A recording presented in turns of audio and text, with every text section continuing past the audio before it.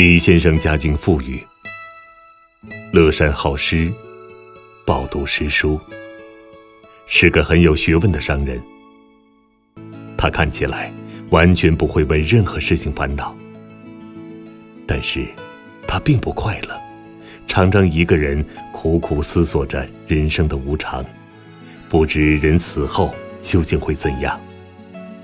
黄泉路上那谜一样的未来。令他感到恐惧不安。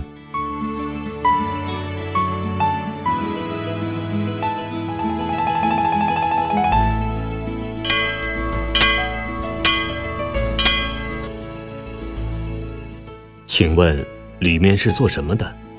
那是一间耶稣堂，里面住个洋人，每次摇铃，就是要聚会了。哦，那我要进去看一看。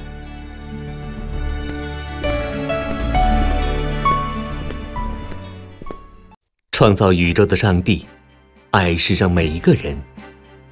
圣经说，神爱世人，甚至将他的独生子赐给他们，叫一切信他的，不至灭亡，反得永生。永生，这不是我多年来一直思考却想不明白的事情吗？因为神差他的儿子降世，不是要定世人的罪，乃是要叫世人因他得救。耶稣基督爱我们世上的每一个人。李先生仔细地听着台上戴德生所传讲关于永生的道，在听到的过程中，他的内心深处有一种说不出来的强烈感受。原来，这就是他一直在不断寻找的真理。原先的忧愁困扰，竟然一扫而空。我终于明白了。我苦苦寻找真理已经很久了，只是一直都找不到。我仔细研究过儒教、道教、佛教的各种说法，但都不能解开我心中的疑惑。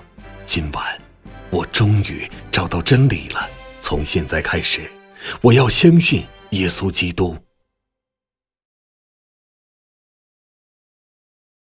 戴先生，谢谢你来中国。告诉我们有关耶稣基督降世救人的好消息。我在很小的时候就听过你们国家的事情，很想告诉你们耶稣基督的救恩。请问你们英国人认识这救恩有多久了？嗯，大概有几百年吧。什么？几百年？为何你们到现在才来告诉我们呢？先父寻求真理二十多年。一直到死都没找到，可惜呀！你们为何不早来呢？戴德生二十五岁时，在宁波桥头街讲道，听众中有一个人名叫倪永发，他是宁波的棉花商人，也是一派改革佛教的领袖。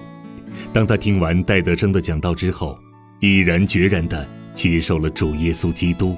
成为他个人的救主。即使拥有许多的财富、学位和名望，始终难免一死。死后要往哪里去呢？这曾是你先生多年来寻找不到的答案。你是否也有同样的困扰？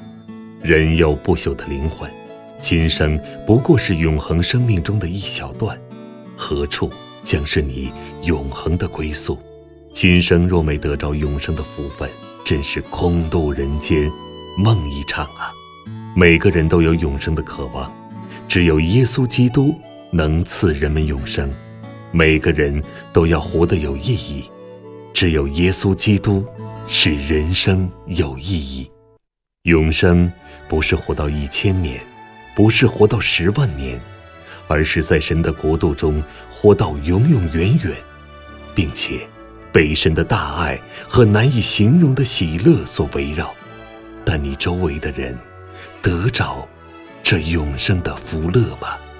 主啊，求你帮助我跨越艰难，寻回走向地狱的灵魂。